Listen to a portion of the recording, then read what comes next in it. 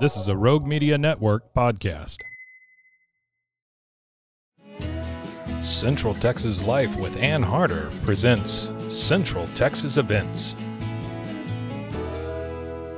Hello, everybody. Welcome to Central Texas Events. And coming up on October 11th and 12th, correct? Yes. The Learning to Exhale Mm. Creative Symposium. And the wonderful Sophia Strother Lewis is with me. It's always good to see you. It is. We were It's a just talking about how long we've been knowing each other. and it's been a little while. It's been over 15 years now. yeah. I just can't believe it. I you know, know you were just a you were just a baby. I was a whippersnapper back then. I'm, I'm definitely not a I whippersnapper right wasn't, you know, nor am I, nor am I. But but it's always a delight to talk to you because I always feel uplifted Mm-hmm. and encouraged, and and you may think, yeah, but you know, I've been through a lot of stuff, but, Yeah, and you have, and you have, and we're going to talk about that a little bit. But that's sort of the spark as Mm-hmm. a survivor, the spark for planning the Learning to Exhale Creative Symposium. Yes. Um, that, that's where it came from. Yes, it did. I uh, in about about 2017, 2018, I feel God really gave me because I was just working through some other things, and He gave me the Learning to Exhale Restoration philosophy, and it was a three part phase to find your voice, embrace your now, and exhale for your future. And typically, I would take people through almost like a life coaching about the three phases of that. How you have to sometimes stop to just catch your breath. You have to realize that the mind matters, but the mouth disrupts. And so many times we allow our mind to go places and we don't disrupt negative thoughts, depression, anxiety, or things you just can't control. And so as you're waiting to exhale, which is the second step, you take stock of your Fab Five. And that is where do I want to be and who is surrounding me within my family, friends, faith, future, and finances. And those five F's really can dictate a trajectory for you as far as how well you want to do and where you want to go in life. And once you take stock of that and really try to target purposefully, these individuals in my life are toxic. It's time for me to let them go or limit my time or when it comes to my finances, I really need to take control of my my debt or where I want to go financially once you kind of get that of where you want to be, then you can go into the final step, which is the I am. And you start provoking manifestation by claiming what you are before it's even happened. We talk about faith without works is dead, and the mm-hmm. power of the tongue is life and death. Well, speak life into your own future. I am healed. I am a survivor. I am thriving. I am debt free. Until you reach that point, start speaking those things and actively doing things to make that happen. And that's the process of learning to exhale. And even with my own personal struggles uh, over the last few years, I've been having to really invoke my own philosophy. And this is kind of um, uh, the. Um, the revealing of what that really looks like for survivors and others that are aspiring to be in performing arts or in entertainment industry. hmm Yeah, and you're living. Yes. You're living this philosophy. Yes. So this is designed to be an immersive experience. Yes. Um, as you say, to supercharge your career and find your voice with workshops on everything from brand identity, marketing, fundraising, mental Yes. empowerment. This will be at the Hurd Center there Yes. at Baylor. Yes. Beautiful building. Beautiful. Wonderful. And it's free. It's free. Thanks to Creative Waco.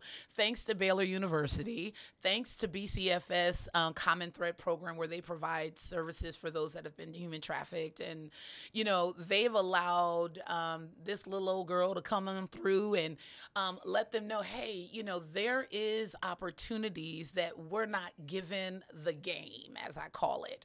Um, when I really started in this industry over 20 years ago, nobody sat down and talked to me about what does it look like to build a brand? What is it to have a unique identity?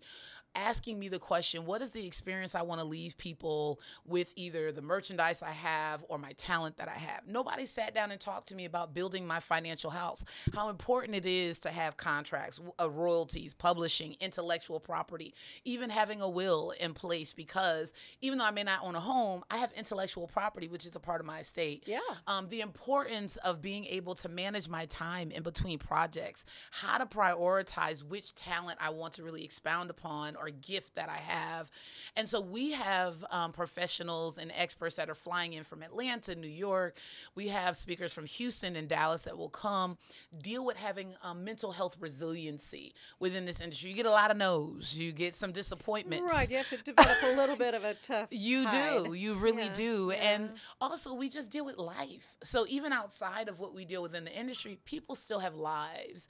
And so, we'll have a mental health um, component. And one of my most uh, exciting is that we'll have a panel um, with men because I really wanted to dive into the mental health of men. And it's called Men Exhale 2. Mm-hmm. And um, we have former NFL player Chris Davis coming in. We have another gentleman um, that also is the founder of Change Nation. And then we have Darius Brown with Waco ISD that does a lot of things for young men. He's actually, I think it's called Pro Father or Pro Dad program that they're doing at Waco um, ISD. And I'm just excited that we can shine a light on men, and especially because I'm tapping into a little bit of the uptick of the violence that have been happening in Waco and knowing that the majority of those perpetrating the crimes have been young men, those that have been unfortunately passing from the crimes are young men. Oh, yeah.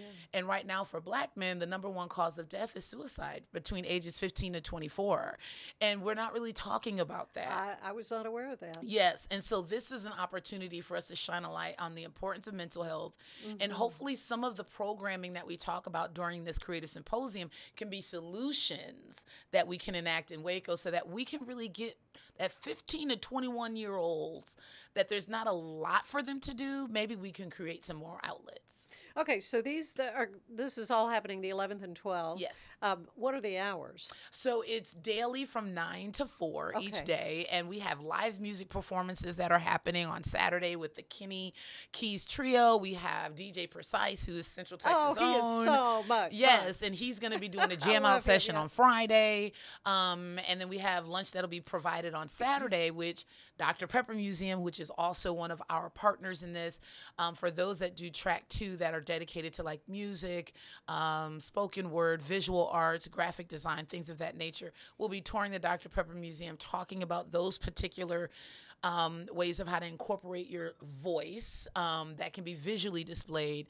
And then track one is with acting. And so we're partnering with the Waco Independent Film Festival um, to do an immersive around the city of Waco where they can see this is production companies, this is where you can get this done, this is where you can film at. And we have grants, which I didn't even know that they will grant to individuals to do short films. And so they'll really be able to get an immersive reality about all the different things that Waco has to offer. You don't have to secure a company in Houston or Dallas or San Antonio. You can do it right here in Waco. A lot is happening here. The last time we visited uh, the beautiful little Annie Simba, your Yes. daughter, was uh, with us. We were talking about a film. Yes. Uh, that you guys were working on, and she's going to be the symposium youth ambassador. Yes, and she She will be there. So let's let's talk a little bit about your film and how how catch catch me up. Yes. Yeah. So, um, me and my daughter embarked on writing a trilogy um, called "Love You to the Moon" in 2022, um, and so it now has kind of morphed into potentially becoming a series because we've gotten so much interest about developing out the characters that was a part of the movie. We thought it might be better to do a series because then we can go different ways with all the different characters and really develop them out and and have the audience be able to build a relationship with them and see themselves in some of those characters.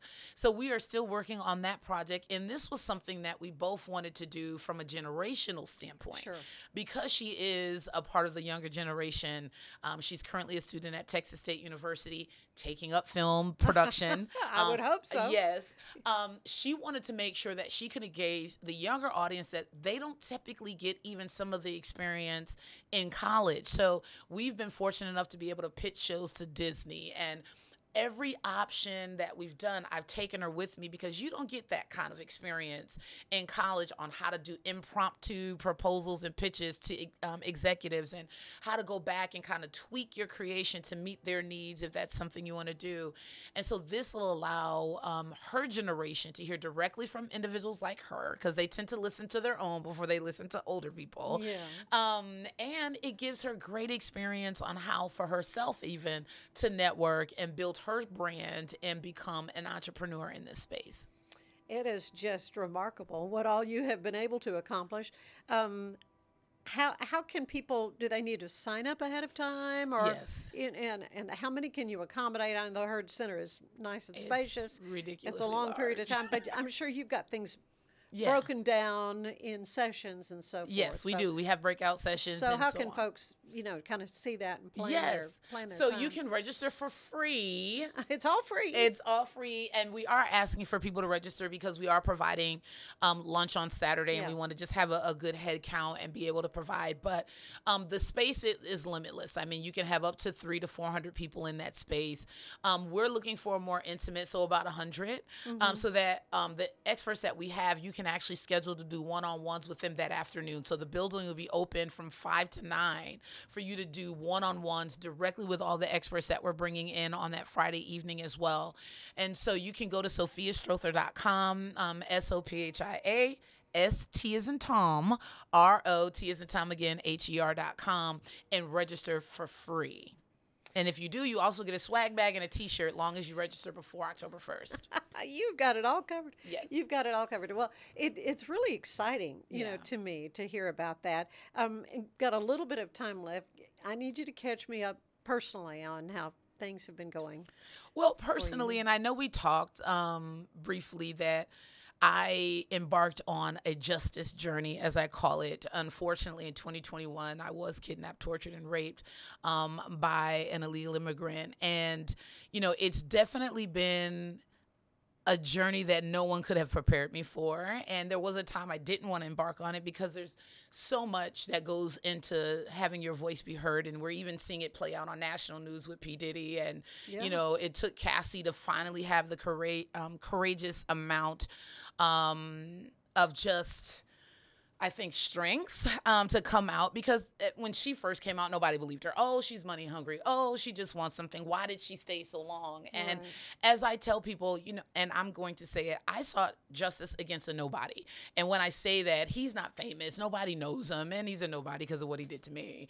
But it still was a hellish experience. It was one of the worst things that I've ever endured.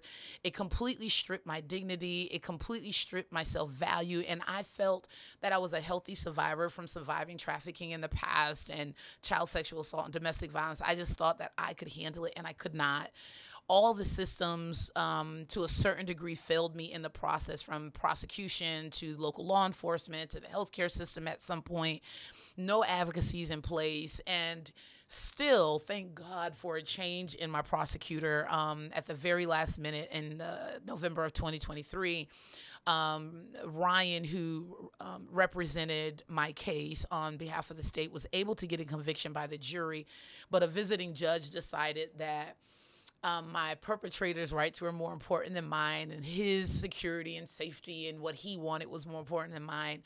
And as a result, he is now on the run, um, and Lone Star Fugitive Task Force is currently looking for him. It's something that I I encourage people to look up my story. If you see this man, please call 911 um, because I am still living in a space where my perpetrator is on the run. Well, and and as a result, I mean, you concer- you're concerned about your safety? Yeah, my own safety. And so some of the things, unfortunately, that I've had to do, I I owned a company called L2E Industries where I was contracted with Amazon to deliver packages. We had almost a fleet of 40. I had a staff of about 100, and I had to make a very hard decision due to a medical condition I now have as a result of my um, assault and just the mental component that comes with knowing your perpetrator is out there. Um, I had to make a decision to voluntarily terminate that contract and close my company, which caused a lot of emotional and financial distress. But I had to make a decision what was best for me. Um, physically, I just cannot manage the way I used to. Um, I've had 10 or 11 procedures as a result, um, physical um, result. And it's going to be something I have to deal with for the rest of my life. And even though it can be very depressing at times, I felt like I'm at my best um, when I am putting on events that benefit others giving them what I didn't have. It's it's a, a survivor healing complex, I guess. And for me, um, the Learning to Exhale Creative Symposium was very healing because I decided to write a film and to get into that space when I was going through because it allowed me to escape. Sure. It was a great deflection from the reality that I was in. And I thought how many other survivors could benefit from learning different ways of how to elevate their voice, how to create a reality and an income at the same time in this industry um, while they're going through or while they're healing. And so I make a very clarent call to anyone that survived anything in life that this is a great way for you to learn how to elevate your voice. If you work for an organization that supports um, survivors, it's a great way for you to come and learn how to give additional resources Mm-hmm. Help, yeah. for us as we're trying to rebuild our lives. It's not enough to just tell us, go work at Walmart, you can go work at Target, get a job at McDonald's and rebuild. No, there's other things that we can do. We can be real estate agents. Like I'm a real estate agent. You can go out and write films or write jingles for commercials or movies. Like there's so many different aspects that they can embark on that can be employment and also can be healing. Unlimited creativity. Yes. Is, is there, and and of course that storytelling component w- between the acting and the filmmaking and the you know creative, the writing part of it, Yes. um, that is so therapeutic. It is. As as for you, just putting on this whole learning to exhale creative symposium is therapy for you. It too. is. It is. And because again, I've been through enough to where I could sit around and cry all day, but life is too short for me to do that. And the fact that I feel God allowed me to um, make it through with my right mind um, and to make it through with a reasonable portion of my health, I feel very lucky and blessed because there's a lot of women and men that didn't make it through, that didn't survive, that lost their battle with this, whether it's by suicide or whether it's by literally they lost their life as the result of an assailant. They didn't make it through. And so I made it through. And so, how can I help some others make it through? Because I had to go through it somewhat alone and I would never wish that on anybody. I thank God for my husband now and for my children and some family members, but I lost family members and friends through this because my trauma was too much for them. Um, But I'm unapologetic about, you know, telling my story and having my voice be heard because there's a lot of people that they may never share their story publicly, but by me being public allows them a sense of um, validity in what they went through and if I can give that to just a few people, I've done my job. Well, it conveys a sense of boldness uh, to be able to do that. Yeah. Again, the Learning to Exhale Creative Symposium, October 11th and 12th at the beautiful Hurd Yes. it's gonna be Welcome Center at Yes. Baylor University. If you haven't been there, this just Yes. sign up to go see Yes, this it's beautiful space. But again, th- uh, many people helping you with this because it is free. Yes. Baylor University among them. and Yes, say, Creative. Pepper, Waco. Creative Waco, which is, I mean, this fits right into their Oh mission, yeah, it does, sure. and it was just a win-win. I mean, I love Fiona Bond and Bree Yeah. and that whole staff and team, and I just sat down with Kennedy to talk about it a little bit, and it just go it correlates with it, and it's also why Q and Coda Films out of Arlington, which uh, initially Kurjan is from Waco, but that's why they also jumped on as uh, media sponsors alongside me because this is something that needs to be done. Stories continue um, to be had and need to be told. Absolutely, and this is the this is the vehicle. This is the way to uh, to get the tools Yes. to make sure that that happens. Sophia, Yes. it's always wonderful to see you. Thank, you, Ann. Thank you so much. We'll continue to pray for the success of Learning to Exhale Creative Symposium. Where can they go online to learn more? So they can this? go to sophiastrother.com. Um, they can also go to learning to exhale waco.rsvpify.com as well. Yeah, RSVP. it's free. Um, It's free, or you can go on Facebook. There is an event for it, um, and the link is in there as well for them to find Learning to Exhale Creative Symposium. Thank you. Thank you, Sophia. And thank you for being with us for Central Texas events. And we'll see you next time. Bye bye.